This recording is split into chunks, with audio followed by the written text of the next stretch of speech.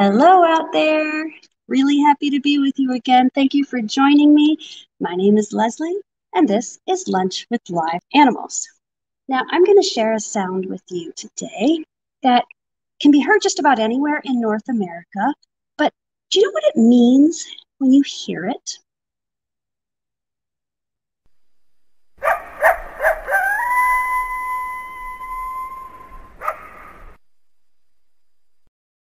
Now, of course, that's a coyote or coyote, depending on where you're from.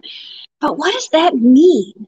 Um, now, I'm going to talk about some of our noisiest animals from our collection today in my show that is frustratingly entitled Croak, Chirp, Hiss, Hoot. Don't say that five times fast, trust me. Because I think, you know, I want to talk about the sounds that animals make because I think that nature is just far more fun and intriguing and interesting when you know what it is you're seeing or hearing. All right. So let's talk about that coyote call for a second. A lot of people assume that coyotes are just happy when they make that sound, but actually, it can have a lot of different meanings. When they howl or yip, it can be a way to uh, define territory. It can be a way to call the pack back from a hunt. Coyotes can even regulate the number of pups they have in their litter based on the population. So, in a way, what they hear can be birth control. Isn't that crazy? Now, there's also sounds out there that we don't hear.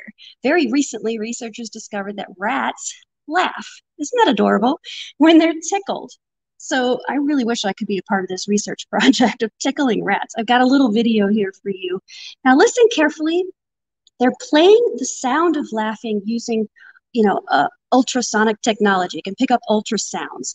And it sounds to us when you're listening like like a little hissing sound. It's below the lady's voice. So listen carefully for this. Belly and back tickles elicited giggles galore. Rats will chase a researcher's hand for more. Isn't that cute? So laughing is important for the other rats to hear because just like with humans, if you're having a wrestling match, you want to make sure everyone is still laughing because if somebody stops, then it might turn into a real fight, right? Now, there's other sounds that I want to talk about today. If you ask any kid, what sound do snakes make? They're going to say hiss. Well, this is a snake here. This is a gopher snake named Willow, beautiful little creature. The funny thing is, they don't hiss all the time. They only hiss when they're scared. So, really, a hiss means, hey, everybody, leave me alone. I'm really scared. And actually, gopher snakes can do this really loudly. it's actually kind of intimidating. We're going to play a little clip for you what it sounds like.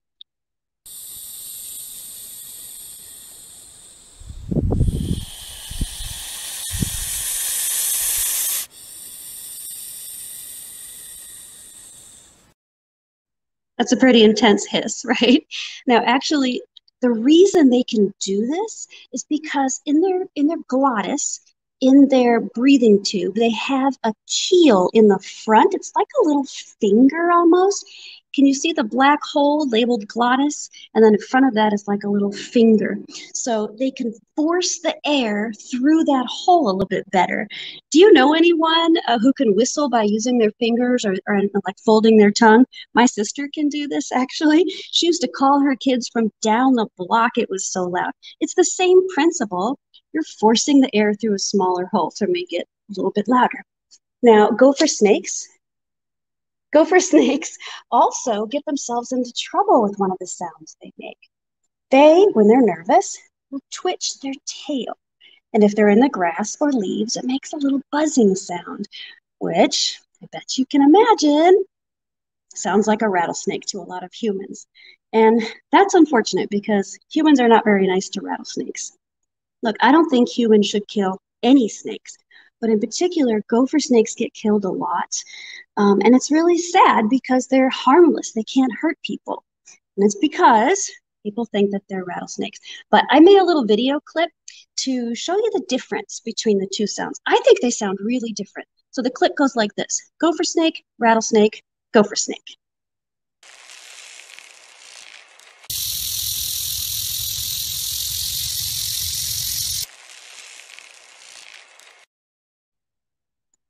Now, I'm putting the snake away right now. That's a really different sound, isn't it? Now, I'm going to tell you while I'm down here, it's kind of funny. Our rattlesnake sometimes even rattles his tail while he's asleep. Isn't that cute? So I don't know, do they dream? I have no idea.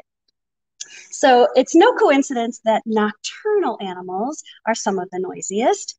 And I brought some famous nocturnal callers with me too. These are Pacific tree frogs. These are native to California. Aren't they cute? Now, they don't live in this. This is just so I can show them to you and show you little frog bellies. Isn't that adorable?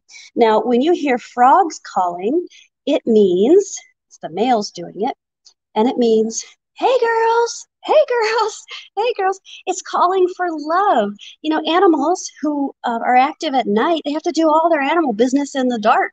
So a lot of times it's about calling for love. now, you know that amphibians need to be near water. You probably know this and even their name is dual life. Uh, you know, they start out life in the water, and when they need to migrate away from the water, sometimes they do. They need to migrate away with, you know, if um, they're hibernating or if the water dries up, something like that. Now, how do they find their way back?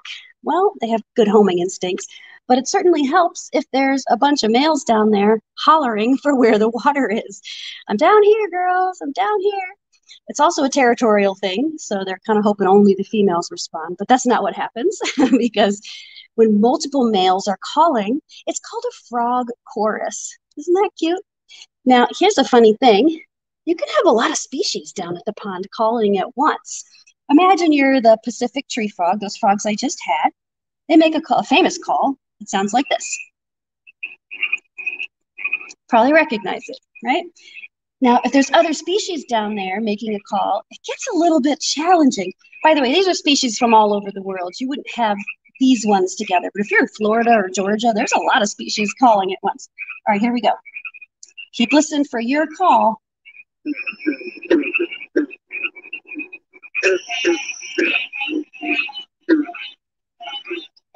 It's getting hard, isn't it? Now, good thing that we are not good thing that we are not amphibians because it would get really confusing for us. Cool thing is they have the ability to filter out the sounds that they don't need. They can only hear what they need to hear, which is the sounds of love and the sounds of danger. How cool is that? This is actually um, a hot topic for human hearing aids and engineering them uh, sometimes hearing aids have trouble picking out different sounds. So engineers are studying frogs to make hearing aids better. Isn't that neat? Now, our cute little frogs, um, they tend to ignore us for the most part when we're doing cleaning and care behind the scenes, but they really love to respond to the frequency of us stirring rocks in a bucket. They tend to croak back at us at that time. Isn't that cute? Now, the other thing a sound can do is tell you about the health of an environment. If you're in Southern California and you hear this sound, not a good sound. That's the sound of the invasive bullfrog. They eat our native amphibians, they eat our, our native turtles, even birds. They're a problem. So if you hear that, it's not a particularly good sound. Now, speaking of calling to get the girls' attention, I've got a couple more sounds to play for you. I'm going to start with one I'm sure you'll recognize. It's a little quiet though, so listen carefully.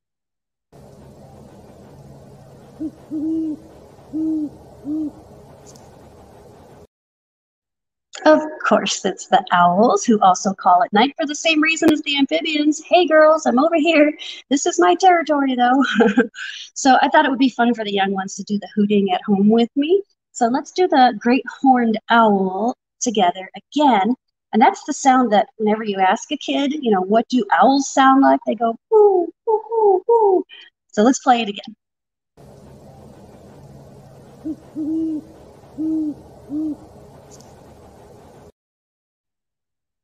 Pretty sweet, right? Now let's hear another cute one, the burrowing owl, another one that's native to California.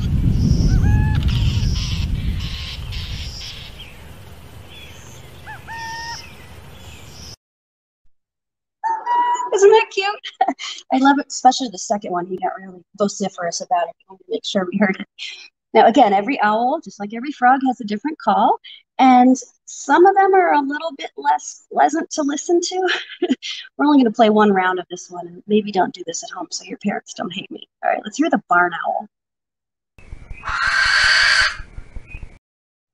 That's a little intense, right? but hey, it works for them. The other owls seem to like it. Now, I'm going to be getting out Odin, our western screech owl, while you listen to his very sweet little call. Um, now watch for his little tail waggle too.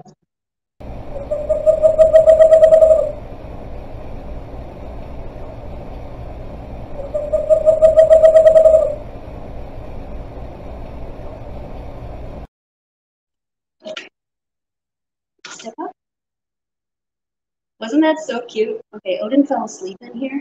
oh, here he comes. Thank you, buddy. Here he is. Everyone say hi to Odin, the Western Screech.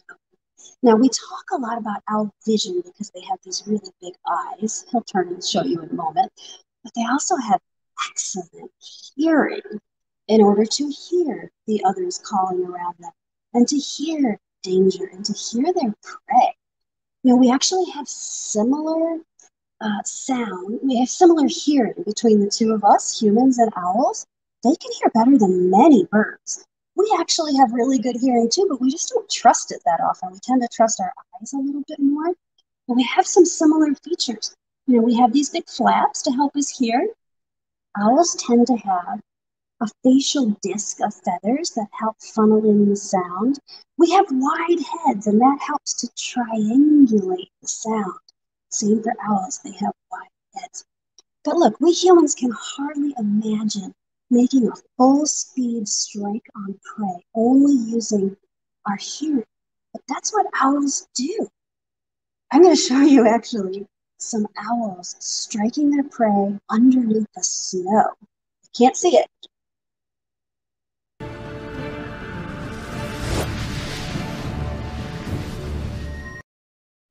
Is that incredible? So majestic. All right, I'm going to show you one that's maybe a little bit less majestic, but I had to show you because it's really funny.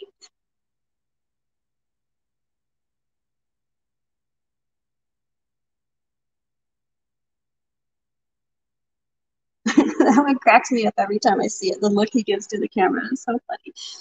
But look, so they're relying entirely on their hearing. Oh, Odin can do this. Western screech owls can hop out of a tree and grab a bird in a bush in a heartbeat using only their hearing. It's pretty incredible. Now, it's usually the northern owls who have to hunt in the snow a lot, and they have an extra special feature. Their skull has asymmetrical ear holes. Can you see that there? How one ear is higher than the other? Isn't that crazy? Again, it's to spread it out so they can pinpoint the sound. It's really quite incredible.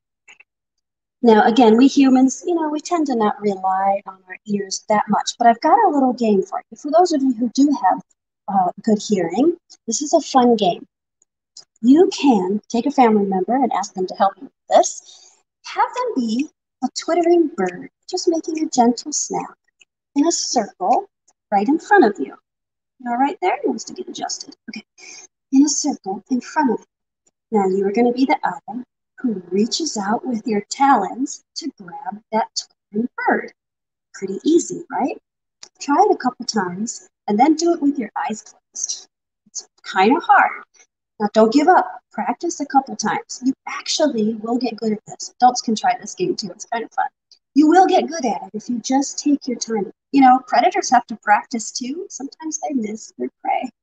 it's pretty pretty hard out there for predators. So they have to practice too. Owls have to practice using their vision and their sight together to operate at night. So I had a really good time talking to you about all the different kinds of animal sounds, or some of the different kinds of animal sounds, and some of the reason they make them. I hope you'll visit us on our Instagram at NHMLA underscore live animals to watch past videos, to check up on our animals, so um, I'm also going to take any questions right now. I don't usually do it, but I'm going to look in the comments. First of all, I will say thank you for joining me. But um, until then, I'm going to take a look here and see if there's any questions. Oh, where did the bullfrogs come from? That's a good one. Bullfrogs actually are from the east and south United States. So um, they are brought here for food and they often get released into native habitats, sometimes as pets too. Uh, yeah, rats are very, very smart. Someone made that. Do snakes make other sounds? That's a good one. You know, generally the hissing is about being scared, but sometimes they'll hiss when they're just taking a deep breath. they make a hissing sound. Or, like I said, the twitching of the tail. These are good questions. Um, okay, I think that's all I have right now. But if you have any more questions, uh, oh, has, has, anyone met Odin before today? Yes, Odin has been up a few times visiting uh, with people. Um, he's been on many of our uh, programs, but he's also met thousands of people here at the museum. So he's a very popular guy. Uh, if any more questions, please do fill them out. I will answer them as soon as I can. But thanks again for joining me. Take care, everybody.